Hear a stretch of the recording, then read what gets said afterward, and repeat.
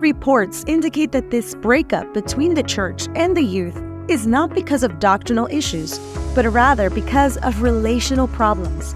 In addition, the disconnection from church, the feeling of shallowness as it relates to spiritual things, identity challenges, the waves of technology, mentorship, the perceived unfriendliness to youth when they have doubts, and youth ministries' focus on the local area are issues that have warranted the Senior Youth Leadership Curriculum. Today's youth are creative visionaries with resounding energy. They are keen to do mission innovatively and are ready to sit at the leadership table and participate in decision making. In other words, the youth want to be recognized, listened to, embraced, appreciated, and invited to be involved. Because of this, this second edition of the Senior Youth Leadership Curriculum intentionally addresses the problems and has two main focuses inward and outward development.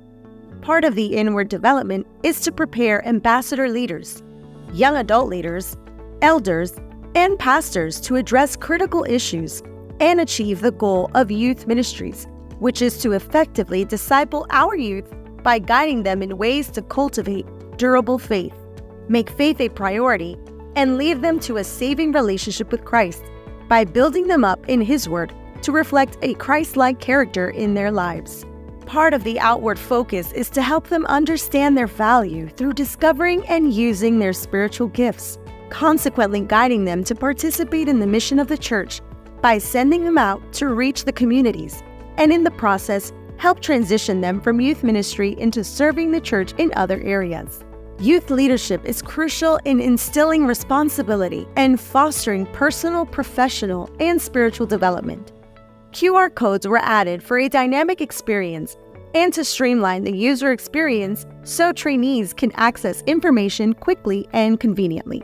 The second edition also includes launching the Pastor's Senior Youth Leadership Curriculum, a condensed program for pastors because they receive training at Adventist theological seminaries. We recognize that the pastor is the local church's gatekeeper, and their ministry often connects them more with the adults than the youth.